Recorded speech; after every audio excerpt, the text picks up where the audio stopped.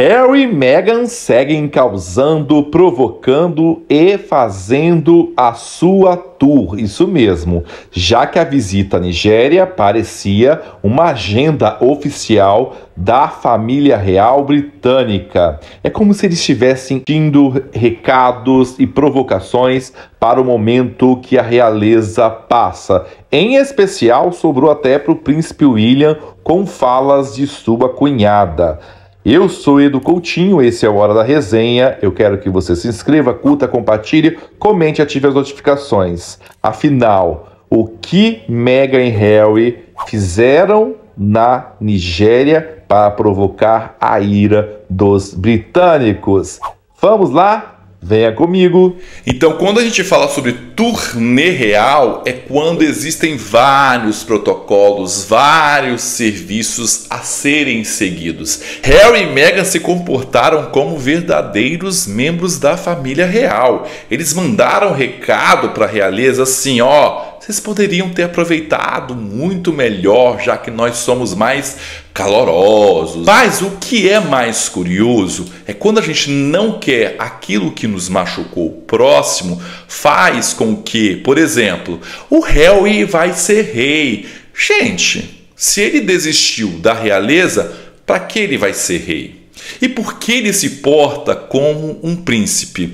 Eu vejo, eu, Eduardo, que o Harry tem uma dependência emocional. Isso é muito motivado pela falta que a mãe fez, pela falta que o irmão fez durante um bom tempo, já que eles andavam bem unidos, e uma falta e ausência de uma educação de um pai mais presente. Eu digo pai. Nós não podemos dizer, e que eu vou falar aqui rapidamente, é: ah, e o Harry é filho de Diana, ele é mais parecido com a Diana. Ai, queridos, vocês precisam olhar um pouquinho mais a história de Diana, porque Diana era explosiva, Diana tinha um temperamento de ter os telefonemas com os jornalistas para saber aonde o rei estava, para fazer estar na capa ou tirar o foco do rei Charles. Isso foi uma guerra midiática durante os anos 90. É isso, Diana sabia o que ele, ela fazia. Aqui a não gente não está tirando os méritos de Diana,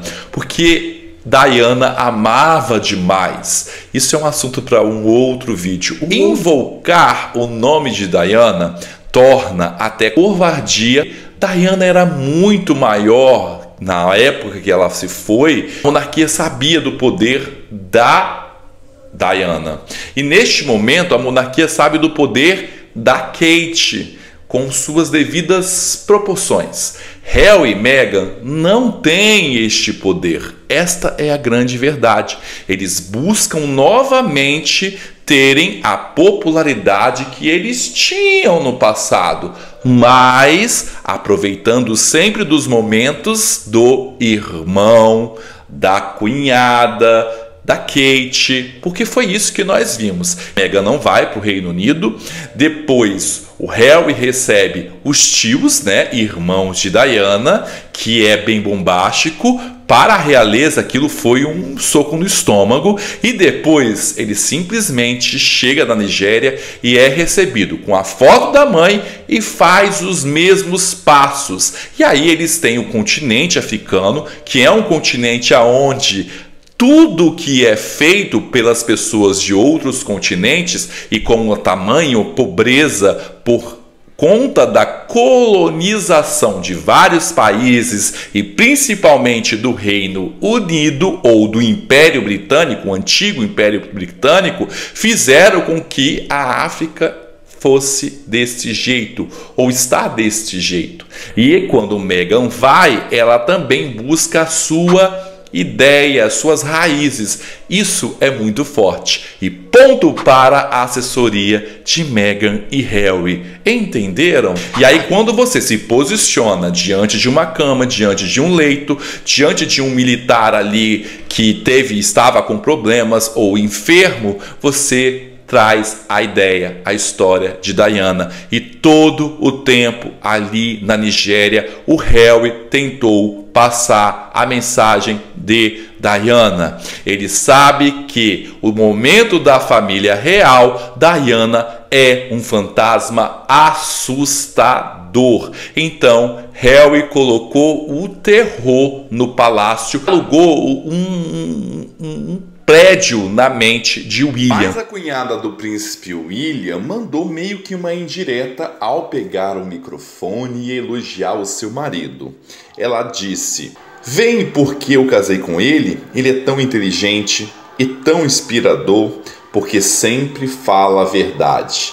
Será que esse momento o William fala a verdade? É como se ela tivesse dado assim uma alfinetada no príncipe William. E ela ainda fecha o pensamento dela. Ser honesto um com os outros. Então, essa foi a ideia. Lembrando que a Meghan e Harry estavam falando sobre saúde mental, eles foram convidados para estarem falando sobre isso Há uma semana, William também esteve em uma das escolas também sobre este assunto, mas foi uma alfinetada aí, né, gente? Falar a verdade, ser honesto. É isso. Bem, se inscreva, curta, compartilhe, comente, ative as notificações.